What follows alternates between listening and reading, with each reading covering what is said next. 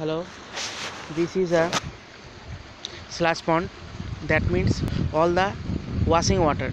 That means mm, oxidation washing flush mixture washing bed washing. Bed washing water are discharged into this pond. Here the two pond are available.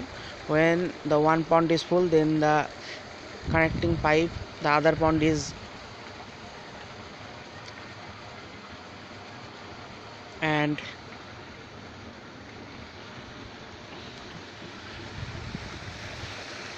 see the all view.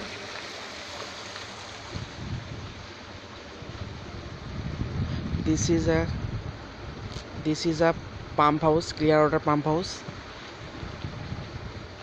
And here the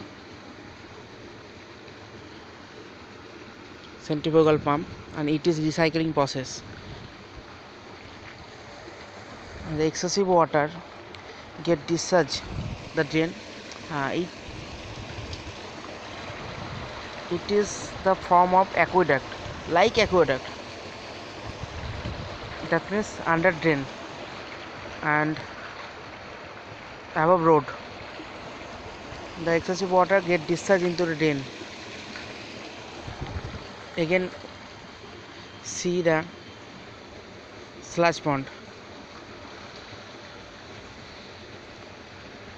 and here it is a substation